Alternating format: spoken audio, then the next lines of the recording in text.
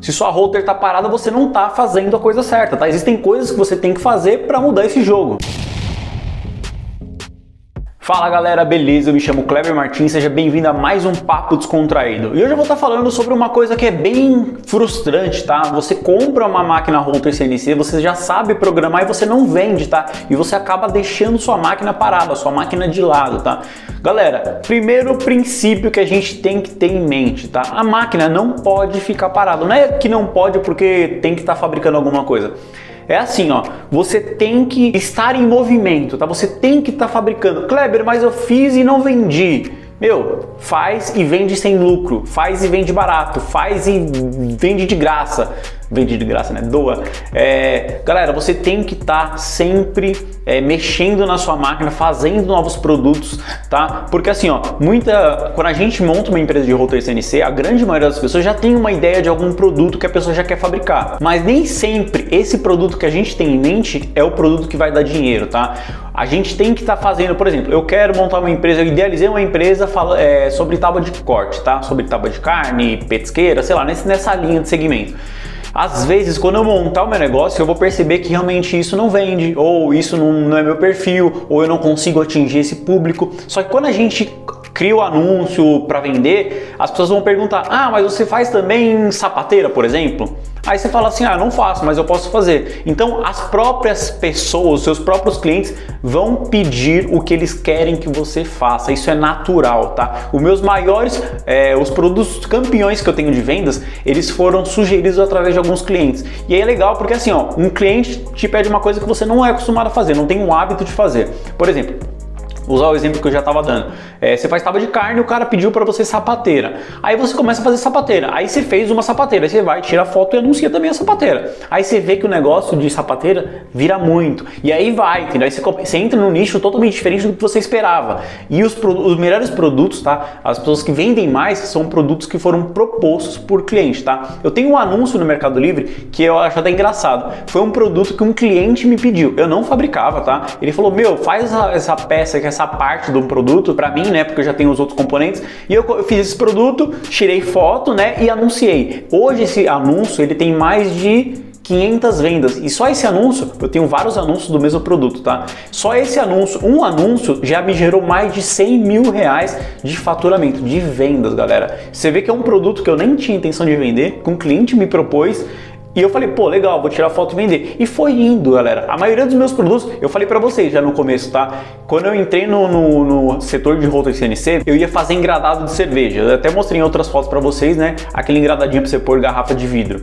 Eu não faço mais hoje, tá? Porque meu negócio foi mudando. Eu nunca pensei em fazer tábua de corte, tábua de time. Comecei a fazer tábua de time, parei também. Mas nunca foi o meu propósito. Só que o que me dá grana, o que eu tive tesão depois de fazer, foi isso, galera. Porque vender dá um tesão, dá uma, uma, uma motivação. Eu mesmo vendi a primeira pecinha. Vocês, vocês ficaram sabendo, né? Vocês viram no vídeo que eu comprei uma impressora de 3D, né? De resina.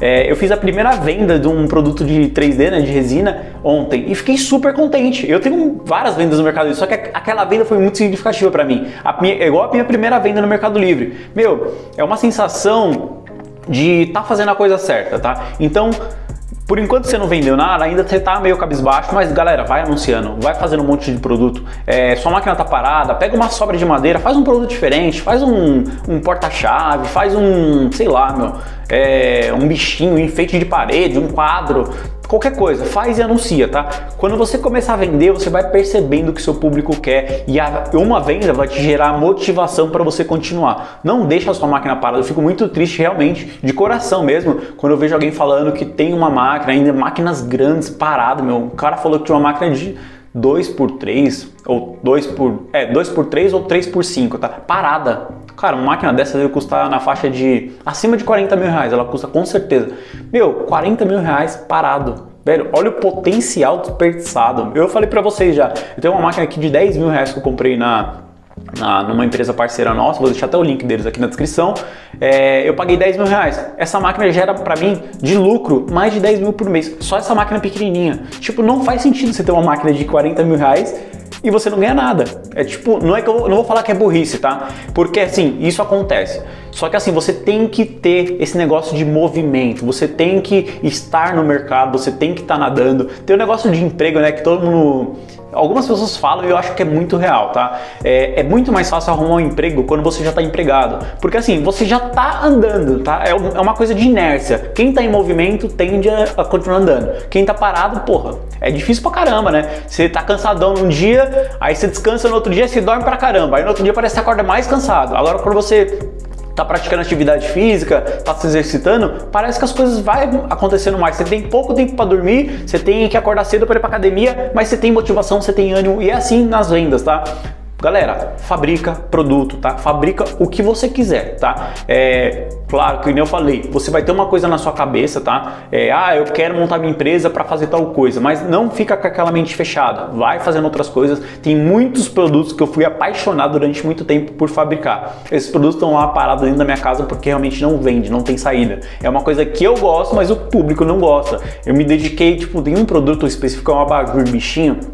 Meu, foram meses planejando, projetando, fazendo vários protótipos. Quando ficou pronto, o bagulho simplesmente não vende, tá? O preço que eu quero, queria vender, que me custou, o trabalho que desse, tudo tem que levar em consideração, não vende. E tá tudo bem, entendeu? As coisas acontecem. O que me dá mais grana hoje é uma coisa que eu nunca esperei vender e que eu tô vendendo pra caramba. Galera, uma coisa muito importante é a gente investir em conhecimento, tá? Às vezes o conhecimento é um limitante na nossa empresa. Por exemplo, eu tô fazendo um curso agora de quarto eixo de CNC, tá? De router CNC.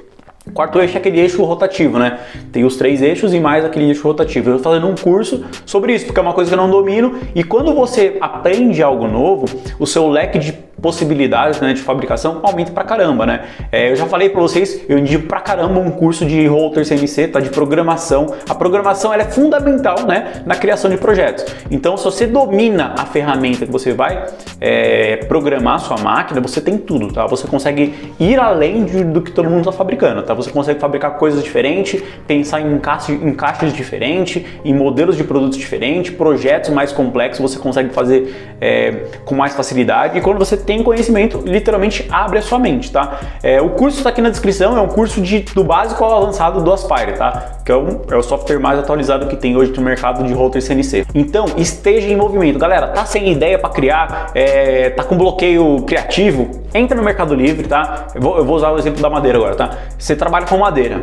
Entra no Mercado Livre e escreve madeira, tá? Vê o que o pessoal tá fabricando com madeira. Porque você tem uma router e trabalha com madeira, você pode fazer. Ou plástico, acrílico, sei lá pega o seu nicho e coloca lá no Mercado Livre, tá? Vê o que está vendendo, começa a vender, tá? Eu já dei a dica do Mercado Livre para vocês no outro vídeo. Quer vender, quer começar a vender no Mercado Livre? Vende barato, vende barato, barato para você começar a ranquear o seu anúncio, tá? O cara tá vendendo por 10 reais, vende por um real, toma prejuízo no começo ou vende para empatar, tá? Só para o negócio girar, para a maquininha começar a girar, o algoritmo do Mercado Livre começar a entender que você é um bom vendedor, que você vai ter reputação, que você vai entregar o produto no prazo e começa, tem a ideias, tá? Que tem no Mercado Livre. O que está vendendo no Mercado Livre, se tem muitas vendas, as pessoas estão consumindo, tá? Então tem demanda. Então você pode é, entrar para fabricar aquele produto, tá? Virar um concorrente do melhor vendedor. Porque se é assim, tem mercado para todo mundo. Às vezes a gente acha que só porque uma empresa é grande, o cara é, sei lá, mercado platino, agora é o exemplo do Mercado Livre, o cara tem muitas vendas, o cara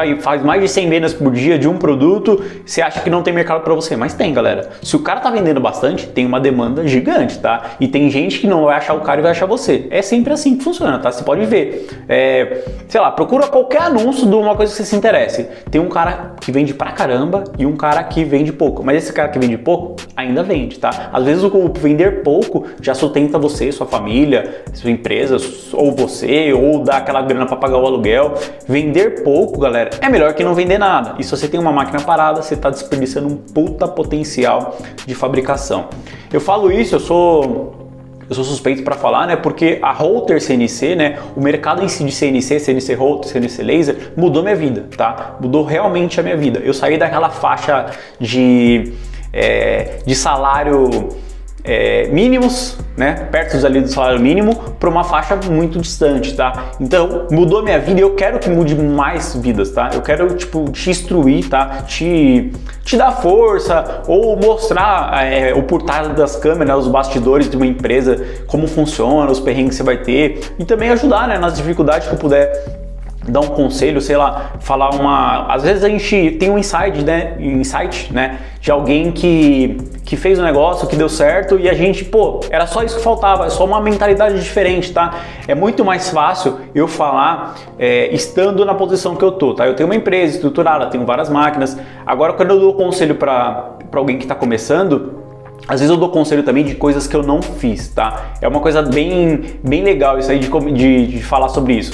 Quando eu falo uma coisa que eu não fiz, é porque quando eu tô de cima olhando, você vê o caminho que você poderia ter percorrido, tá? Vamos imaginar que a gente está subindo uma montanha e eu tô aqui em cima. Não é que eu sou melhor, tá? Mas eu, eu tenho uma empresa já estabilizada, mas eu cheguei num ponto mais alto do que tem, quem tá lá embaixo.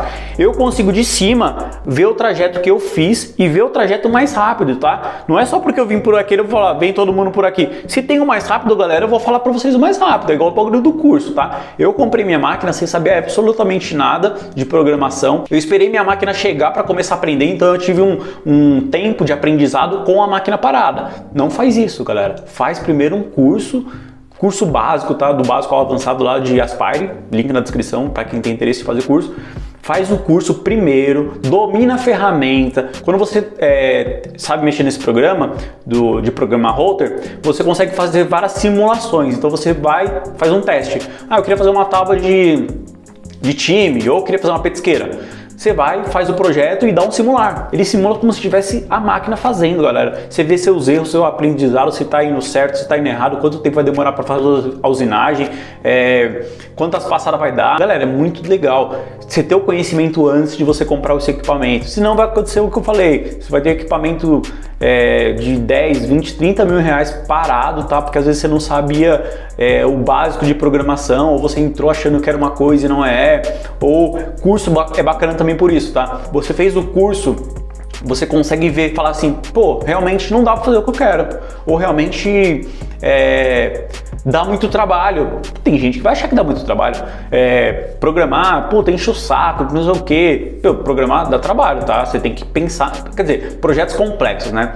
Projetos simples não dá trabalho. Você faz um círculo, faz a tábua redonda, tábua redonda. Você faz um círculo, manda cortar, dois minutos você programa isso, tá? Agora coisas mais complexas, coisas que tem encaixe, é mais complicado, mas programação, é, router CNC tem um lado muito bom, tá? Que você fazendo um projeto certinho, correto, você faz uma vez só. Depois você só é tipo uma impressora. Você põe o pendrive lá e vai só ó, imprimir, imprimir, imprimir, põe chapa, imprimir, põe chapa, imprimir. É uma coisa rápida, tá? Vai, vai te demandar um pouco tempo na hora do projeto, mas depois na hora de da fabricação é muito rápido, é muito escalável, tá? Você consegue fazer muitas unidades é, de uma vez e de uma forma muito rápida. E o, o ponto principal, né? Ter rep, repetitibilidade, repetibilidade. É você conseguir repetir aquele projeto várias vezes igual, né? Uma precisão muito, muito, muito alta, tá? Você fez um círculo de 3 centímetros, 17 dos próximos vai sair 17, 18, 19, mas muito perto, olhando, né? Você não tem, não vê diferença alguma. Beleza, galera? Era isso que eu queria passar para vocês hoje. Espero que vocês tenham entendido o conceito, tá? Não deixa sua router sendo separada, põe ela para funcionar, põe para cortar alguma coisa. Espero que vocês tenham gostado do conteúdo. Se vocês gostaram, deixa o like, pô, ajuda pra caramba o canal. Se você não é inscrito no canal, se inscreve aí. Eu tô vendo que muita gente assiste os vídeos, curte o conteúdo, mas não se inscreve. Não custa nada para você, só clica lá no botãozinho, beleza? A gente se vê na próxima. Até mais.